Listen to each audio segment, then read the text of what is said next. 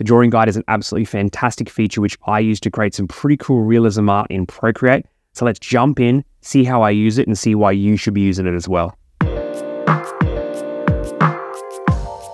In this video, I'm going to show you a realism piece I created in Procreate recently. We're going to have a look at the statistics, how long it took me to create and how many brush strokes I used. And we're going to break down exactly how I use the drawing guide or a grid overlay system to draw from reference. So let's jump into the iPad and jump into Procreate. As we can see here, this is a piece I just finished. I'm an absolutely massive horror fan, and this is my first tip. If you do want to start drawing realism or any other style that you're not usually used to drawing, pick something that you like the topic of. This may seem really basic, but if you have an interest in it, you are more likely going to stick with that piece. Believe me, I've learned the hard way. Now, I finished this piece here, but I want to show you exactly how long it took me to create. I think it's good to share these type of things. On the very top left-hand side of the screen, we have our Actions tab, little wrench tool there. We're going to tap on that. We're going to make sure we have Canvas selected across that top menu. And then at the very bottom, we have Canvas information. Let's tap on this and then there's a little menu on the left-hand side of the screen.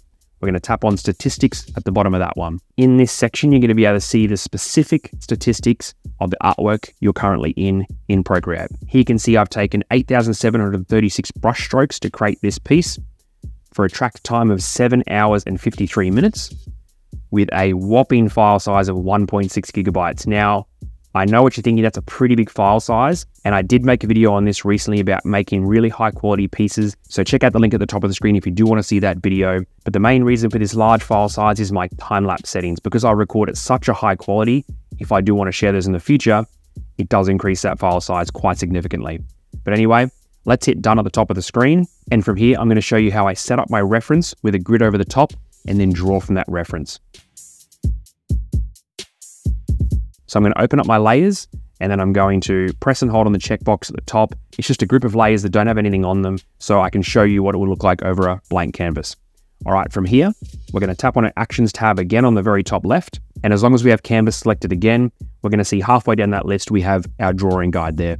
We're going to toggle that on and we're going to see a grid that appears on our artwork. This is exactly what we want. Now, if it's looking pretty good to you already, you might be able to leave it at that, but more than likely your grid's going to be showing really, really small squares. This isn't ideal for the process I'm about to show you. So what we can do is we can tap on Edit Drawing Guide. This is great because at the bottom here, we have all these options to change the size, color, and opacity of the grid that's over the top, as well as the type of grid as well. But for this, we definitely want a 2D grid. But from there, it's up to you about what color, what opacity, and what size you want. Now let's talk about size. We definitely don't want the squares too small.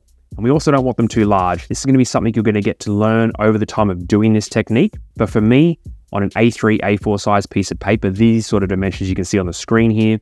I like about 9 or 10 squares across the top, so I like to adjust my grid to that, and then when I'm happy, I can hit done at the top. Perfect, we have our grid overlay or our drawing guide set up. From here, we're going to import a photo of the reference we want, so go ahead and find one of those, and then when you have one, we're going to tap on the Actions tab again, we're going to tap on Add, and then we're going to tap on Insert Photo.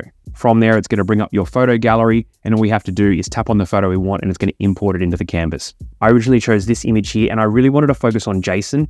So what I did is I enlarged it quite a bit, and I really wanted to focus on getting him in the shot.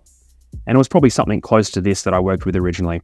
Once we're happy with that, we can tap on the little arrow tool at the top there, and it's going to set that image in place. From here, we're going to do a screenshot on our iPad. We simply have to hit the up arrow and sleep wake button exactly the same time. And that's going to do a screenshot. And then we can tap on the screenshot on the bottom left because we're going to adjust those parameters. We want to use the toggles on either side here to drag it into the exact edges of that piece of art. And then we're going to hit done on the top left, save to photos. That's now been saved to your photo gallery. We can jump back into our layers now, remove that, and we should be left with a blank canvas with a grid overlay on the top. So what just happened there? We have a reference image, we overlaid a grid, and then we save that photo for a very specific reason. Before we start drawing, we're going to tap on our Actions tab again. We're going to tap on Canvas, and we're going to tap on Reference. Once Reference is open, we can import that image into the reference window here. We're going to tap on Image, and then we're going to tap on Import, and then we're going to select it. It's going to be the last photo in our camera roll, and then there we go. I have a grid that matches my grid in Procreate. I have the image that I want to draw. And from here, I can start using these points of reference to create an image on my canvas here in Procreate. I'll show you exactly what I mean. If I tap on the Actions tab, tap on Video, and tap on Time-Lapse Replay, you can see here I've created these points of reference as I go along to make sure I've got those proportions right. By no means am I cheating, I'm just using this reference to try and train myself about how to do realism. Again, this is only my third realism piece and I want to get better. So this way is going to allow me to use that grid system and make sure all those points are set in place and I can work on all the other important details like the shading and lighting and everything like that.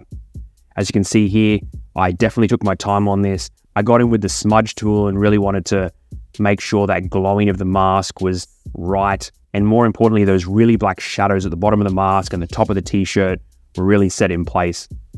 I can put my finger on the screen now and drag across that time lapse and you'll see that I work piece by piece as I go.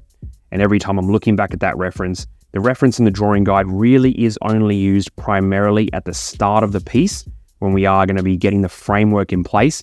But I definitely went back in later when there were these holes here on the mask to try and get them in the right area because it was a bit tricky as the mask was curving. Drag all the way through to the end of the time lapse and there we go. If we open our layers and hold back on that checkbox on the layer that we originally soloed, it's going to bring all the other layers back. And then if we do want to remove the grid from there, we can tap on the Actions tab, tap on Canvas, and tap on Drawing Guide again. And we can also tap on Reference to remove that. And then we're left with the piece of art we created. I absolutely love the Drawing Guide. I found it really, really useful when I did start focusing on realism. But I'll be honest with you, there's probably a lot of other art that could really benefit from using this type of system as well. And this is actually the same system I use when I create murals. I like to take a photo of the wall that I'm going to be creating. I like to put a grid over the top, draw over that grid, and then it's an easy way to transfer it onto the wall. I highly encourage anyone out there who's not using Drawing Guide already to give it a go, experiment with it. You're going to love it. It's absolutely fantastic. And let me know in the comments if you already do use it or if you're excited to start using this great feature. If you like today's video, make sure you hit that subscribe button. It doesn't cost you anything at all, but it does help me grow my channel and bring in these videos each and every week. And until the next video, I'll catch you then.